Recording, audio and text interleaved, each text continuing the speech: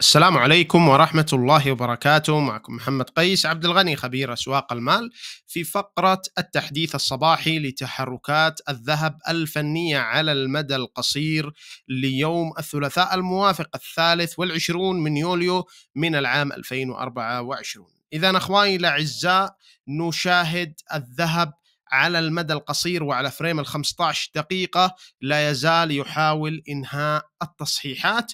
وإذا نجحت الأسعار بكسر مستوى ال 2385 دولار قد نشاهد فعليا استئناف الهبوط إلى مستويات ال 2350 دولار و 2310 دولار.